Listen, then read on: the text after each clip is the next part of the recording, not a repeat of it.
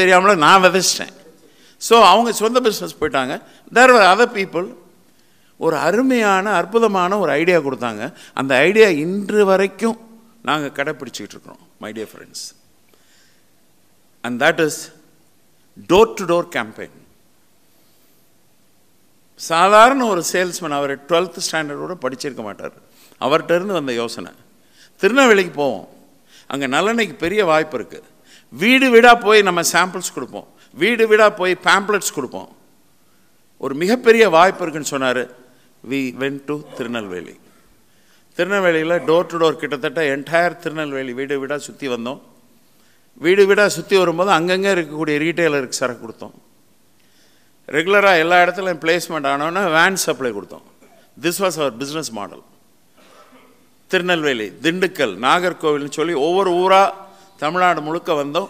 Door to door campaign my dear friends நீங்கள் யாரும் fast moving consumer குட்ஸில் இருந்தீங்கன்னா இதுக்கு இணையான விஷயம் வேறு எதுவும் இல்லை. Marketing nothing like door to door campaign இன்றைக்கி டோர் டு டோர் கேம்பெயின் நாங்கள் எங்கெல்லாம் பண்ணுறோன்னா மதுரையில் பண்ணுறோம் திருச்சியில் பண்ணுறோம் சென்னையில் பண்ணுறோம் ஆந்திர பிரதேசத்தில் ஒரு நாலு சென்டரில் பண்ணுறோம் Hyderabad Vijayawada Guntur etcetera very effective my dear friends ஏன்னா இப்போ நம்ம வந்து டெலிவிஷன் அட்வர்டைஸ்மெண்ட்டில் வந்து மக்கள் மனதில் போய் இருக்கிறதா சொல்கிறாங்க பட் மக்கள் ரீகால் பண்ணி திரும்ப வந்து சரக்கு வாங்கணுமே. That is close to impossible ஆனால் நம்ம வீடு வீடாக போகும்போது ஒரு நாளைக்கு ஒரு சேல்ஸ் கேர்ள் அறுபது வீடை பார்க்குறாங்கன்னா இருபது வீட்டில் சரக்கு வித்துடுறாங்க சில நேரம் நாற்பது வீடுகளோடு விற்கிறாங்க ஏன்னா there is a special price ஏன்னா நம்ம நூற்றி நாற்பது ரூபா பொருளை நூற்றி நாற்பது ரூபாய்க்கு விற்கிறதில்ல டோர் டு டோர் போகும்போது நூறுரூபாய்க்கு கொடுக்குறோம் ஸோ ஆசைப்பட்டு அவங்க வாங்குறாங்க நாற்பது ரூபா டிஸ்கவுண்ட் இருக்குது அப்படின்னு. ஒரு தடவை நம்ம ப்ராடக்டை வாங்கிட்டாங்கன்னா வாழ்நாள் பூரா வாங்கணும் குவாலிட்டி சப்போர்ட்ஸ் ஸோ அந்த மெத்தட் வந்து எங்கள் என்டையர் தமிழ்நாட்டில் அப்படி தான் நாங்கள் மார்க்கெட் பண்ணோம். ஸ்டெப் ஒன் அடுத்து யார் ஒருத்தர் தமிழ்நாட்டில் சக்ஸஸ்ஃபுல்லாக இருக்காங்களோ அவங்களுடைய அடுத்த டார்கெட் பெங்களூர் அண்ட் பாம்பே. ஏன்னா சென்னைக்கு அடுத்து அதிகமான தமிழ் பேசுகிற மக்கள் இருக்கிறது பெங்களூர் அண்ட் பாம்பே நாட் கோயம்புத்தூர். ஏன்னா கோயம்புத்தூரில் வந்து நான் சொல்கிறது கோயம்புத்தூரில் பத்து லட்சம் ஜனத்தொகை இருக்கிற காலம். அப்போ இங்கே எவ்வளோ ஆனந்த விட விற்றதோ அதை விட பெங்களூரில் கூட விற்றது பாம்பேயில் கூட விற்றது ஸோ நாங்கள் பெங்களூர் போய் மார்க்கெட் பண்ண போனோம். பெங்களூரில் ஒரு சூப்பர் மார்க்கெட் போனோம். மினி சூப்பர் மார்க்கெட் அண்ணனும் தம்பி அங்கே பிஸ்னஸ் பண்ணிருக்காங்க. அண்ணன்ட்ட போய் நான் பிஸ்னஸ் கேட்குறேன் ஐயா நாங்கள் தமிழ்நாட்டில் பாப்புலராக இருக்கிறோம். நீங்கள் எங்களுக்கு ஒரு ஆப்பர்ச்சுனிட்டி கொடுங்கன்னு சொல்லி. மார்க்கெட்டிங்கில் இருக்கிறவங்க இந்த சபையில் இருக்கிறவங்க எல்லாரும் ஒத்துக்குவீங்க. எங்கேயாவது நாம் போய் மார்க்கெட் பண்ணுறோம் நம்ம ப்ராடக்ட் ஆஃபர் பண்ணுறோன்னா நமக்கு கிடைக்கிற பதில் ரெண்டு எழுத்து பதில். அது என்னது நோ. மூன்று எழுத்து பதில் என்னைக்காவது கிடைக்கிறதா? அநேகமாக கிடையாது. நோ தான் பதில். எனக்கு அந்த மினி சூப்பர் மார்க்கெட்டில் கிடைச்ச பதில் நோ. தேவையில்லை. எங்களுக்கு இன்ட்ரெஸ்ட் இல்லை. இருந்தாலும் அந்த நோ கேட்கறதுக்காக நான் வரல. விருதுநகர்லேருந்து எப்படியாவது இந்த நோவை எஸ்ஸாக கன்வெர்ட் பண்ணணும் அப்படிங்கிறதெல்லாம் மனசு தீவிரமாக செயல்பட்டது. அண்ணன் சொன்னார் சார் தம்பியை போய் பாருங்கள் சார்னு அவர் கழிச்சு விட்றார். ஏன்னா விட மாட்டேற ஆளுன்ட்டு தம்பியை போய் பார்த்தேன். தம்பி உண்மையிலே பிஸியாக இருந்தார். ஆர்டர்ஸுக்கெல்லாம் பேக் பண்ணி சரக்கெல்லாம் டிஸ்பேச் பண்ணிட்டு இருந்தார். சார் நான் பிஸியாக இருக்கேன் உங்களுக்கு தெரியலையா? என்கிட்ட போய் ஆர்டர்ஸ் கேட்குறீங்களே சார் அப்படின்னாரு.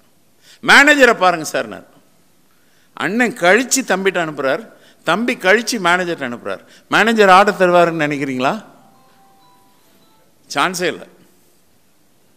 ஸோ மேனேஜர்கிட்ட போக முன்னாடி யோசிக்க ஆரம்பிக்கிறேன். நிச்சயமாக ஆர்டர் கேட்டால் இவர் தரப்போகிறதில்ல அப்போ நம்ம வேறு மாற்று யோசனை. மை டியர் ஃப்ரெண்ட்ஸ் எப்போல்லாம் சிக்கல் வருதோ சிந்தனை வருது. ஒத்துக்கிறீங்களா? ஹலோ சிக்கல் வந்தால் தான் சிந்தனை வரும். சிக்கல் வரலைன்னா? சிந்தனையே வராது. ஸோ எனக்கு இப்போ ஒரு சிக்கல் வந்துருச்சு. அண்ணன் மாட்டேங்கிறார் தம்பி மாட்டேங்கிறார் மேனேஜர்கிட்ட போயிட்டு இருக்கிறேன் ஜெயிச்சாகணும். சிந்திக்க ஆரம்பிக்கிறேன்.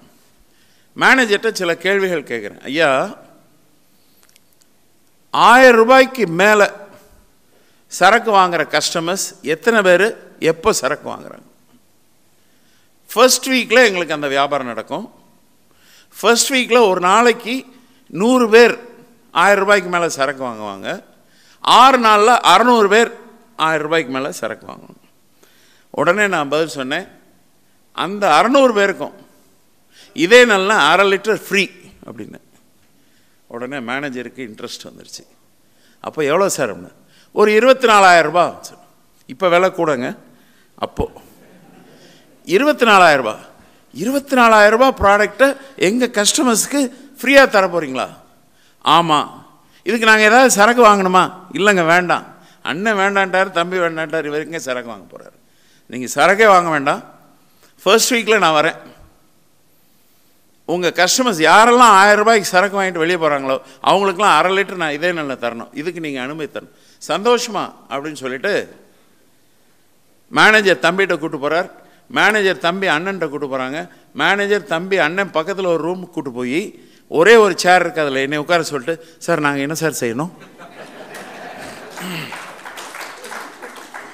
மை டே ஃப்ரெண்ட்ஸ் இதில் என்னென்னா இந்த மாதிரி ஒரு கான்செப்ட் நிச்சயமாக என்னுடைய மனதில் இருந்து வரல. அந்த சிக்கல். எனக்கு எப்போ சிக்கல் ஏற்பட்டதோ அப்போ வந்து ஒரு கான்செப்ட் வருது ஒரு ஐடியா வருது. அதனால் எப்போல்லாம் சிக்கல் வருதோ உடனே உற்சாகமாக சிரிங்க. சந்தோஷமாக இருங்க. கொஞ்சம் கஷ்டமாக இருக்கும் கேட்குறதுக்கு ஏன்னா கெட் நியூ ஐடியாஸ் புதுமை அப்போ தான் செய்ய முடியும். புதுசாக ஒரு குழந்தை வந்தால் என்ன செய்கிறோம் பேர் வைக்கிறோம் இல்லையா? ஸோ இந்த கான்செப்டுக்கு நான் ஒரு பேர் வைக்கணும் இல்லையா? ஒரு பேர் வச்சோம். பேர் என்னென்னா பிக் பய ஸ்கீம் சரிதானே? It's not a scheme it is a big buy scheme நூறுரூபாய்க்கு சரக்கு வாங்குறவங்களுக்குலாம் நான் தரல. ஐநூறுரூபாய்க்கு சரக்கு வாங்குறவங்களுக்கு தரல. ஆயிரம் ரூபாய்க்கு சரக்கு வாங்குறவங்களுக்கு கொடுக்குறோம். இதில் சில முக்கியமான விஷயங்கள்லாம் மறைஞ்சிருக்கு. இப்போ நான் ஃப்ரீ சாம்பிள் கொடுக்குறேன் இல்லையா? இந்த ஃப்ரீ சாம்பிள் நான் வந்து ஐம்பது எம்எல் கொடுத்தேன்னா என்ன ஆகும் தெரியுமா? அம்மா என்ன செய்வாங்க? வீட்டம்மா வேலைக்கார பொண்ணு கொடுத்துருவாங்க அல்லது டிரைவர் கொடுத்துருவாங்க. ஐம்பது எம்எல் கொடுத்தேன்னா நான். எவ்வளோ கொடுத்தேன்? அரை லிட்டர். அரை லிட்டர் நிச்சயமாக யாரும் கொடுக்க மனசு வராது. அவங்களே வீட்டுக்கு எடுத்துகிட்டு போய் அவங்களே சமையல் பண்ணி பதினஞ்சு நாள் அவங்களுக்கு தேவைக்கு அது சரியாக வரும். இந்த பதினஞ்சு நாள் நம்ம கஸ்டமராக ஒருத்தர் கிடைக்கிறாருன்னா அவர் வாழ்நாள் பூரா நம்ம கஸ்டமராக வேண்டியது நம்ம கடமை. அகெயின் குவாலிட்டி அங்கே குவாலிட்டி இருந்தால் தான் நம்ம ஜெயிக்க முடியும். மை டியர் ஃப்ரெண்ட்ஸ் இந்த கான்செப்டில் தான் பெங்களூர் பாம்பே டெல்லி நார்த் இந்தியாவில் எங்கெல்லாம் எங்கள் ப்ராடக்ட் இன்றைக்கி ப்ரெசன்ஸாக இருக்கோ அங்கெல்லாம் இந்த கான்செப்ட்ஸில் தான் மார்க்கெட் பண்ணோம். இன்றைக்கும் தமிழ்நாட்டில் டோர் டு டோரை விட சில இடங்களில் இந்த கான்செப்ட்ஸ்க்கு வந்திருக்கோம். உதாரணத்துக்கு சென்னையில் எங்களுக்கு ஒரு பதினாலு சேல்ஸ்மேன் இருக்காங்க. அந்த பதினாலு சேல்ஸ்மேனுக்கு வேலை சாயங்காலம் நாலு மணி வரைக்கும் தான். நாலு மணிக்கு மேலே பதினாலு பேரும் பதினாலு கடைக்கு போயிடணும் அந்த பதினாலு கடையில் போய் ஐநூறுரூபாய்க்கு மேலே சரக்கு வாங்குறவங்களுக்கு ஆயிரம் இல்லை ஐநூறு.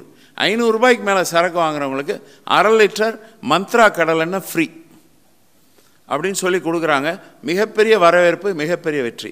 இதில் என்ன ரொம்ப முக்கியம்னா அன்றாடம் பதினாலு கடைகளில் போய் நாங்கள் இந்த கான்செப்டை இன்ட்ரடியூஸ் பண்ணுறோம் அந்த பதினாலு கடைகளும் இது வரைக்கும் எங்கள் சரக்கு வாங்காத கடைகள்.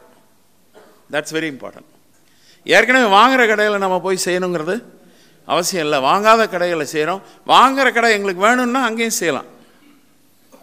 இந்த பதினாலு கடைகளில் ஒரு வாரத்தில் ஏழு கடைகளில் பிளேஸ்மெண்ட் ஆகுது ஒரு மாதத்தில் கிட்டத்தட்ட நானூறு கடைகளில் நம்ம பண்ண முடியுது. பதினாலு கிட்டத்தட்ட முந்நூறு கடைகள். முந்நூறு கடைகளில் பண்ண இந்த முந்நூறு கடைகளில் இரநூறு கடைகளில் பிளேஸ்மெண்ட் ஆகுதுங்க. மை டியர் ஃப்ரெண்ட்ஸ் இவ்வளோ ஃபாஸ்ட்டாக எத்தனை டெலிவிஷனில் அட்வர்டைஸ் பண்ணாலும் பிளேஸ்மெண்ட் பண்ணுறது கஷ்டம். அண்ட் பிஸ்னஸில் ரொம்ப important P the third P's placement my dear friends பிளேஸ்மெண்ட்டுங்கிறது வேறு ஒன்றும் இல்லை. நல்ல ப்ராடக்ட் நீங்கள் கொடுக்குறீங்க. நல்ல பப்ளிசிட்டி பண்ணுறீங்க சரக்கு விற்றுருமா விற்க விற்காது எப்போ விற்கும் கடைகளில் அவைலபிளாக இருக்கணும். இப்போ நான் வந்து நல்ல ப்ராடக்ட் கொடுக்குறேன் நல்ல பப்ளிசிட்டி கொடுக்குறேன். கோயம்புத்தூரில் கிடைக்கவே இல்லை. இப்போ நான் என்ன பிரயோஜனம்? Doesn't help so availability is important அந்த பிளேஸ்மெண்ட்டுக்கு இப்போ வந்து இந்த பிக் பயர் ஸ்கீம் கான்செப்ட் வந்து எங்களுக்கு ரொம்ப உபயோகமாக இருக்குது அப்படின்னு சொன்னால் மிகையாகாது. So this is one information அடுத்து நான் உங்களுக்கு சொல்ல விரும்புகிற செய்தி இப்போ சமீபத்தில் ஒரு கான்செப்ட் எடுத்துருக்குறோம். அது என்ன அப்படின்னா டாக்டர்ஸ் டாக்டர்ஸ் வந்து ஒரு காலத்தில் நம்ம பாரம்பரியமாக நல்லெண்ணெய் கடலெண்ணெய் உபயோகித்தவங்க தானே. வேணால் இங்கே தேங்காய் எண்ணெய் பயன்படுத்தியிருப்பீங்க. நல்லெண்ணெய் கடலெண்ணெய் தேங்காய் எண்ணெய். இல்லை தேங்காய் எண்ணெய் நல்லெண்ணெய் கல்லெண்ணெய் இதுதான் நமக்கு ப்ரையாரிட்டி ஆயில்ஸாக இருந்தது. டாக்டர்ஸ் வந்து என்ன சொல்லிட்டாங்கன்னா கொலஸ்ட்ரால் இந்த கொலஸ்ட்ராலை குறைக்கிறதுக்கு சன்ஃப்ளவர் ஆயில் பயன்படுத்துங்க. சொன்னாங்களா? சொல்லி நம்ம எல்லாரையும் சன்ஃப்ளவர் ஆயிலுக்கு மாற்றினாங்க இப்போ திரும்ப என்ன ஆயிருக்கு தெரியுமா? திரும்ப எல்லாரும் இப்போ ட்ரெடிஷ்னல் வந்து செக்கெண்ணெய் வரைக்கும் போயிட்டோம். என்ன செக்கெண்ணெய் தனி. அதை நம்ம அடுத்து நான் சொல்கிறேன் உங்களுக்கு. இப்போ டாக்டர்ஸ் வந்து என்ன சொல்கிறாங்கன்னா ட்ரெடிஷ்னல் எடுபிள் ஆயில்ஸை சாப்பிடுங்கன்னு சொல்ல ஆரம்பிச்சிட்டாங்க. நல்லெண்ணெய் கடலெண்ணெய் தேங்காய் எண்ணெய். அப்போ எங்களுக்கு ஒரு யோசனை வந்தது. ஏன் இந்த டாக்டர்ஸுக்கு நம்ம ஃப்ரீ சாம்பிள் கொடுக்கக்கூடாதுன்னு சொல்லி மாதா மாதம் இங்கே யாரும் டாக்டர்ஸ் இல்லை அதனால் சொல்லலாம். மாதா மாதம் மூவாயிரம் டாக்டர்ஸுக்கு எங்கள் கடலெண்ணெய் வந்து இலவசமாக கொடுத்துட்ருக்குறோம் இஸ் அதாவது how to reach the customers இன்றைக்கு தேதியில் டாக்டர்ஸ் ஆர் வெரி ஹாப்பி இப்போ சமீபத்தில் எங்கள் சேல்ஸ்மேனுக்கு ஒரு வித்தியாசமான அனுபவம் கிடைச்சது. இது என்னென்னா ஒரு டாக்டர் என்ன சொல்கிறாரு தம்பி நீ ரெண்டு மாதத்துக்கு ஒருக்க எனக்கு கல்லெண்ணை தர. நான் உனக்கு ஏதாவது பண்ணணுமே அப்படின்னு இருக்காரு. என்ன சார் பண்ண போகிறீங்க உன் பிளட் டெஸ்ட் பண்ணுவோமா? சரி. உனக்கு ப்ரெஷர் பார்ப்போமா? சரி. ஸோ பிளட் டெஸ்ட் பிபி எங்கள் சேல்ஸ்மேனுக்கு இலவசமாக பார்த்துருக்காரு ஒரு டாக்டர் ஏன்னா அவருக்கு நம்ம கடலெண்ணெய் கொடுக்கறதுனால. So it was very interesting சரி. இது தவிர இன்னொரு எக்ஸ்பீரியன்ஸ் நான் அந்த இடத்துல உங்களுக்கு சொல்லணும். இது கொஞ்சம் முந்தைய காலத்தில் நடந்தது. சாதாரணமாக நம்ம எல்லாருக்குமே சேல்ஸ் டேக்ஸ் நோட்டீஸஸ் வந்திருக்கும் இல்லையா? சேல்ஸ் டேக்ஸ் நோட்டீஸ் வரலைன்னா நம்ம கம்பெனி நடத்தலைன்னு அர்த்தம். அதனால் சேல்ஸ் டேக்ஸ் நோட்டீஸ் தான் முதல் பெரும்படுங்க. ஆஹா. நம்மளை வந்து டிபார்ட்மெண்ட் ரெக்கக்னைஸ் பண்ணியிருக்காங்க அப்படின்னு. எங்களுக்கு ஒரு சேல்ஸ் டேக்ஸ் நோட்டீஸ் வந்தது சார்